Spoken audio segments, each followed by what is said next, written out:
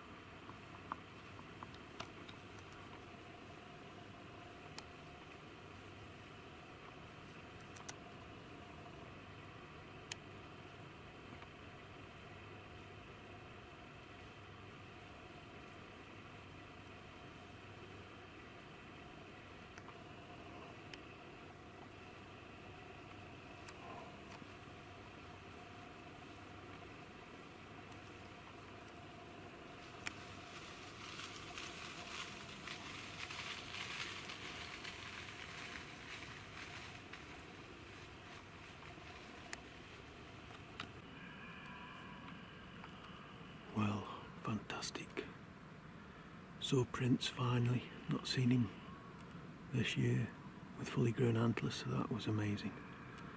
To be so close. So yeah, really chuffed with that. So, be out next time, seeing if I can see him in a slightly lighter evening. And uh, hopefully the count. So yeah, keep watching guys, it's looking good, it's getting better each time I come out.